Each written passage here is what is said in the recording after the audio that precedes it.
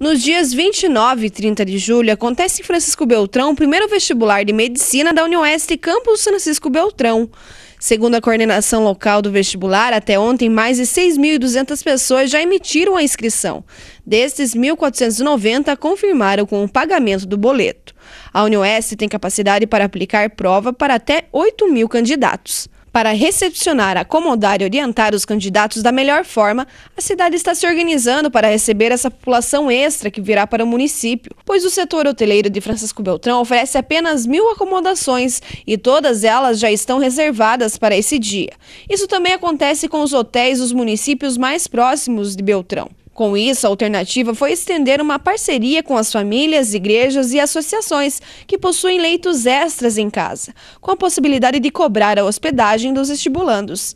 Uma central de cadastro foi aberta na Associação Empresarial. Até ontem, 17 pessoas já deixaram à disposição seus lares para recepcionar os estibulandos.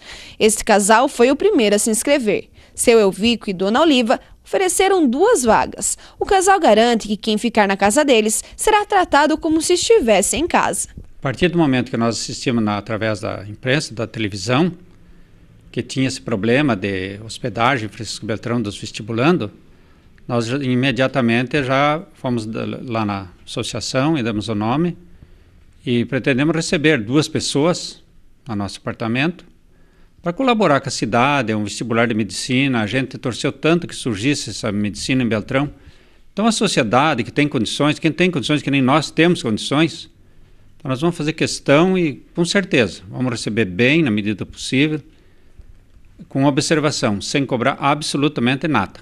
Além da central de cadastros de leitos na Associação Empresarial, a previsão é que até o final da semana entre no ar um site com as informações essenciais sobre Francisco Beltrão a respeito de hospedagem, alimentação, transporte e locais de prova.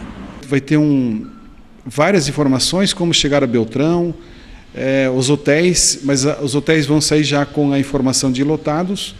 E a principal informação que nós queremos é que as famílias vão entrar no site e vão se cadastrar oferecendo um quarto, do, seus leitos, duas camas, eh, alimentação e até se ele pode fazer o transporte.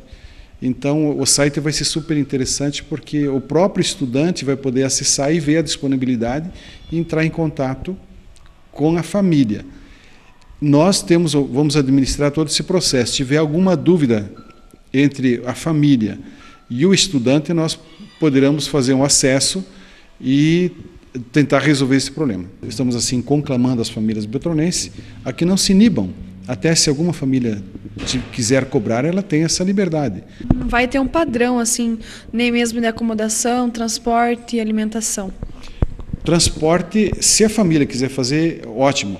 Mas nós, nós vamos, já nos reunimos com a equipe que está trabalhando no vestibular, nessa, nessa assessoria Unioeste, ou nessa infraestrutura para a Unioeste, dentre os temas do nosso projeto elaborado, que foi a Edna Faust que elaborou, no projeto consta a, a mobilização do transporte público.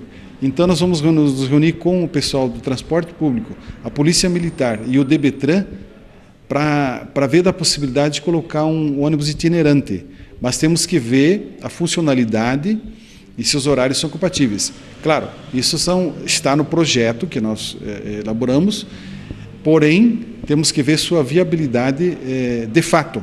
As inscrições para o vestibular de medicina da Unioeste de Beltrão seguem até o dia 4 de julho.